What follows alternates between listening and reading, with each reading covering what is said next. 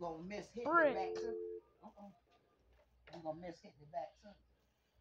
So when Venus and Serena came out, I ain't think shit of them. I was so mad that I still didn't stay in tennis. I was like, I whip they ass. They play too nice. I I'm not with that nice shit. Shit, I got you shit got me running all over the court. You uh, shit. Every I'm put it this way. Every game I played, I won. But we had to forfeit because we didn't have enough members on our, you know, team. Like we go to other schools.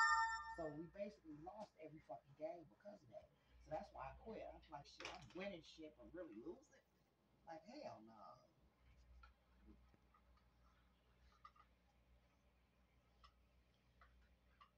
I was the shit.